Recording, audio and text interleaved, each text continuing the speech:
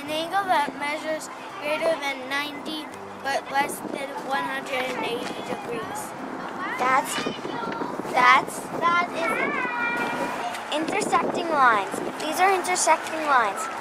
Lines that meet or cross a point. These are perpendicular lines. Lines that meet or cross each other that form part of a line that has one endpoint and endless in one direction with ending. This is this is a right. This is a right. Yeah. Point, an exact location in space that represents by a dot.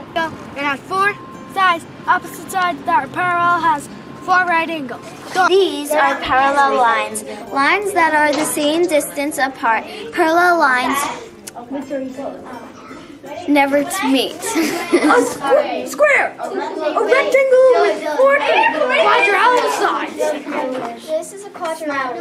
polygon Stop. important.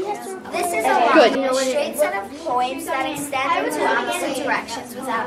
This is a right angle, an angle and now